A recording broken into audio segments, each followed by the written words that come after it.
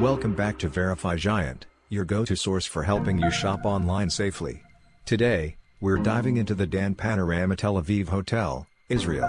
Now, let's start by peeling back the layers on this five-star establishment, like an onion, but hopefully not as tear-inducing. First up, the location. It's right across from the Mediterranean Sea, which means your morning view could be a beautiful sunrise or a seagull stealing your breakfast.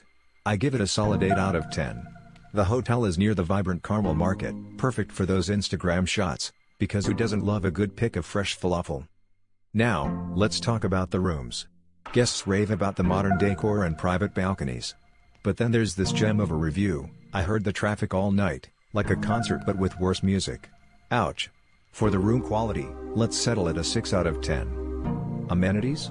Oh boy, the hotel has a seasonal outdoor pool and a kids club. But if you're traveling without kids, you might feel like a lonely cactus in a desert. I'll give this area a 7 out of 10. Food options are pretty decent, with a classic Israeli breakfast on the menu. But be warned, not all reviews are glowing. One guest complained about the lukewarm coffee, giving me flashbacks to my college days. Food and dining score? I'll give it a 7 out of 10 as well. Now, the staff. Some say they're friendly, while others claim they have the enthusiasm of a sloth on a Sunday. I'd rate them a 6 out of 10. Finally, let's wrap it all up for value for money. With prices that can make you double check your bank account, I'm inclined to give it a 5 out of 10. So, we have Location, 8 out of 10. Room quality, 6 out of 10. Amenities, 7 out of 10. Food, 7 out of 10. Staff, 6 out of 10. Value for money, 5 out of 10. The total score?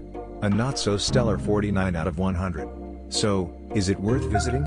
Well, unless you enjoy swimming in mediocrity, I'd say no.